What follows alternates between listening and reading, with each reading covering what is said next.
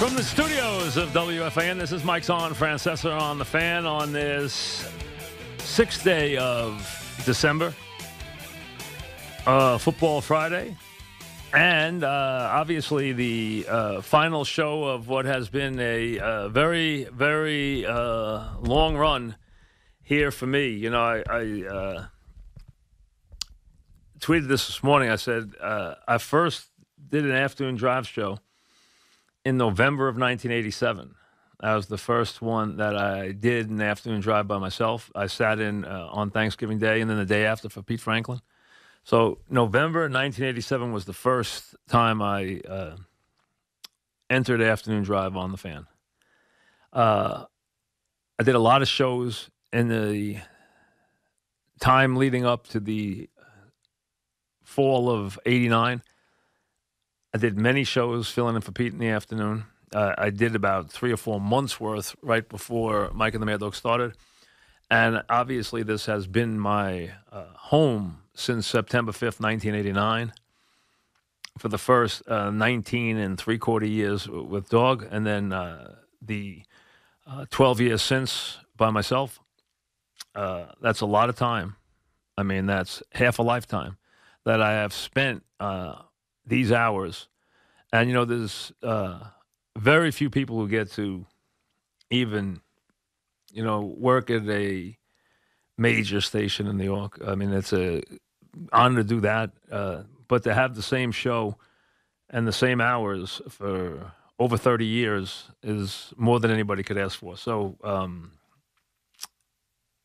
this is the last one. Uh, we will, you know, not spend a lot of time dwelling on that. You know, maybe the last couple of minutes we'll chat about it a little bit in the last half hour. But this is the uh, final uh, afternoon drive show for me after all these years. There'll be a new show starting in uh, January when they start the winter. Obviously, there'll be you know different shows filling in the next couple of weeks. I know they haven't announced yet what's going to follow. I don't know. You'll have to wait and see uh, what's going to follow. I think it'll be comprised of the people who are here, so I don't think they're going outside the company uh, to put the shows together. At least I don't think so. But I, they haven't consulted with me and told me what they're doing yet, so I haven't heard. Um, but uh, whoever it is, we wish them well, and uh, uh, obviously, uh, I wish them even a portion of the uh, good fortune and success that I've had doing this for these uh, many many years. So uh, it's been a uh, incredible run. I remember very well um, getting called into the program director's uh, office in August of '89 uh, on a summer day, and the program director at that time, a guy named Mark Mason, said to me, "Hey, I want to tell you some good news. You're going to afternoon drive. I said, great. But you're not going alone. So that's how it started. That became the saga of Mike and the Mad Dog. That was uh, Mark Mason's idea.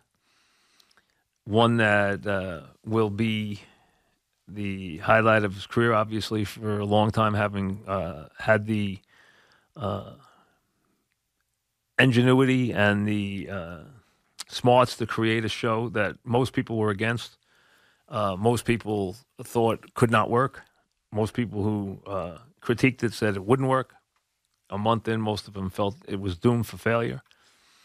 Most people inside the station felt the same thing, and it obviously became the biggest and most successful sports talk show of all time. So um, he gets credit for that, and uh, rightly so. And I owe him a lot of debt of gratitude because it was his idea. He took the chance on us and really withstood, and it just is a good thing to remember, withstood a tremendous amount of pressure and criticism early on, but stuck by his guns. And it turned out to be something that he's spent a lot of time taking bows for for many years since, uh, and rightly so. But he uh, was had conviction. He believed in it. Uh, he believed it would work. A lot of people didn't. I mean, early on, it was a uh, tough go for a little while, as we know. But we all know what the uh, final result was. And led into a very long uh, time here and a very long relationship with this uh, station and with this audience, and uh, for that I am uh, very grateful. I've had, I've said it many times, I have had the most loyal and consistent audience that anybody could ever have. I mean, uh, really, I mean, you know, we've had been very fortunate to be at the top of the ratings for 30 years, and that's a testimony to having just a very loyal audience. Because without the audience, it doesn't work. You know you guys are the ones that make the decisions, uh, just like in most things. You know, the public makes the decisions.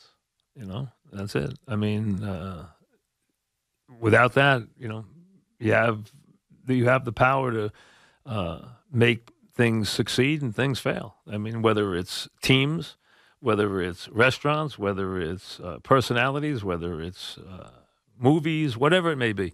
You know, it's based on whether or not you people respond to it. If you don't respond, it doesn't work. It doesn't last long. And obviously, uh, so I owe you a great debt, debt of gratitude for that. To the ones who people know because they call in, that's a very, you know, that's less than 2% of the audience uh, that ever calls in. You know, you meet people and they say, hey, I don't call in. Well, most people don't call in. 98% don't ever call. But uh, you need the callers who participate, and then you need everybody else to just uh, show up and listen. And for that, I am very, very grateful to the audience for their tremendous response and their uh, incredible um, consistency over such a long period of time.